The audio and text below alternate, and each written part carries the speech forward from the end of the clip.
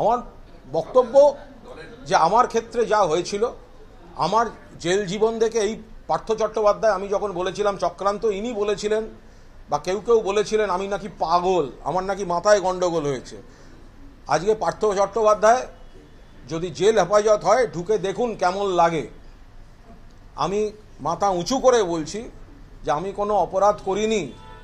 তখন এই পার্থ চট্টোপাধ্যায়ের আমার নামে শাস্তি দেওয়া হচ্ছে বলেছিলেন, দলবিরোধী বলেছিলেন, তো তাঁরাই তো তখন থেকে অপা, অমুক, তমুক এইসব করে বেরিয়েছেন তো ফলে আমি আশা করব, আমি যেমন একজন নাগরিক হিসেবে বন্দি জীবনের প্রত্যেকটি নিয়ম আমার ক্ষেত্রে প্রযোজ্য ছিল, পার্থ চট্টোপাধ্যায়ের ক্ষেত্রেও বন্দি জীবনের সাধারণ নাগরিককে যা তাঁর অবস্থায় যা রাখা উচিত, ঠিক আশা করব কারা দপ্তর তাই রাখবেন।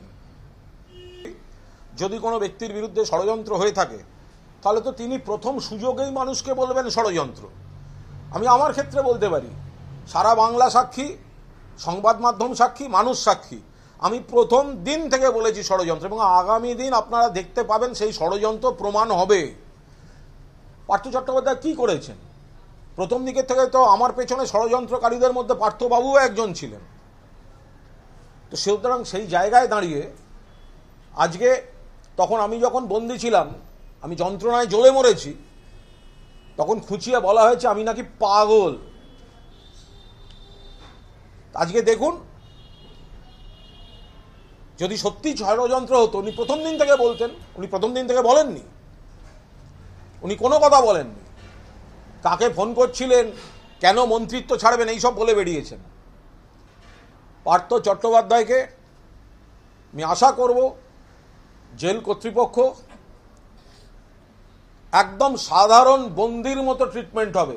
আমার ক্ষেত্রে যা যা নিয়ম হয়েছে, তাই তাই হবে। কোনো জেল হাসপাতাল নয়। পার্থ চট্টোপাধ্যায়কে সেলে রাখতে হবে। আমাকে সেলে রাখা হয়েছিল। আমাকে বিভিন্ন জেলে ঘোরানো হয়েছে। জেলের বহু বন্দি, বহু কর্মীর সঙ্গে আমার যোগাযোগ আছে। মিনিমাম যদি সুযোগ সুবিধা পার্থ চট্টোপাধ্যায়কে দেওয়া হয় জেলের ভেতর থেকে আমি খবর পাবো।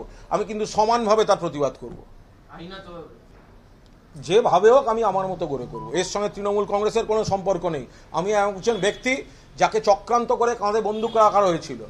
আমারও যদি জীবন থাকে উপরে উপরওয়ালা থাকে এই চক্রান্ত একদিন যারা যারা করেছে এই পার্থদার হাল প্রত্যেকের হবে। তারপর আমার মৃত্যু, তার আগে আমি মরছি না। চোদ্দ দিনের জেল, হেফাজত, পার্থ চট্টোপাধ্যায় এবং অর্পিতা মুখোপাধ্যায়ের। আপনাদের আরেকবার বলব যে অর্ডার রিজার্ভ ছিল প্রায় চল্লিশ মিনিটের মতন শুনানি পর্ব চলেছে এবং তারপর অর্ডার বেশ কিছুক্ষণ রিজার্ভ ছিল। আর এই মুহূর্তের খবর, পার্থ চট্টোপাধ্যায়, অর্পিতা মুখোপাধ্যায়ের দু সপ্তাহ। চোদ্দ দিনের জেল হেফাজতের নির্দেশ দিয়েছে আদালত। প্রকাশ সিনহা, আমাদের প্রতিনিধি বিস্তারিত বলবেন। বলো প্রকাশ। দেখো, জেলে গিয়ে যে ইন্ট্রোগেশনের আবেদন ইডির তরফে করা হয়েছিল, সেই নিয়ে কি নির্দেশ হলো আর কিছুক্ষণের মধ্যেই আমরা জানতে পারব। কিন্তু দুজনকেই চোদ্দ দিনের জেল হেফাজতের নির্দেশ দিয়েছেন আদালত এবং আর কিছুক্ষণের মধ্যেই দুজনকেই জেলে নিয়ে যাওয়া হবে। এবং তোমাকে বলে দিই আজকে ইডি তরফে ইডির আইনজীবী আহ, যেটা সওয়াল করেন এবং ইডির ফরওয়ার্ডিং লেটারে বারবার যে অভিযোগ আনা হয় যে পার্থ চট্টোপাধ্যায় একজন প্রভাবশালী ব্যক্তি জামিন দিলে তিনি এভিডেন্স ট্যাম্পার করতে পারেন তিনি বাইরে এসে সাক্ষীদের হুমকি দিতে পারেন। অপরদিকে আমরা দেখলাম পার্থ চট্টোপাধ্যায়ের আইনজীবী তিনি কিন্তু সওয়াল করেন যে পার্থ চট্টোপাধ্যায় শুধুমাত্র একজন বিধায়ক এবং প্রয়োজনে তিনি রিজাইন করার জন্য প্রস্তুত। কিন্তু দুই পক্ষের সওয়াল শোনার পর আমরা যেটা জানতে পাচ্ছি যে দুজনকেই পার্থ চট্টোপাধ্যায় এবং অর্পিতা মুখোপাধ্যায়, দুজনকেই কিন্তু চোদ্দ দিনের জেল হেফাজতের নির্দেশ দেওয়া হয়েছে। অর্থাৎ আর কিছুক্ষণের মধ্যে এই গেট থেকেই পার্থ চট্টোপাধ্যায়কে বার করা হবে এবং তাকে জেলে নিয়ে যাওয়া হবে। অর্থাৎ বারো দিনের ইডির কাস্টাডির পর এবার কিন্তু চোদ্দ দিনের জেল হেফাজত। আগামী আঠেরো তারিখ, আগামী আঠেরো তারিখ ফের পার্থ চট্টোপাধ্যায় এবং অর্পিতা মুখোপাধ্যায়ের এই কোর্টেই পেশ করতে হবে।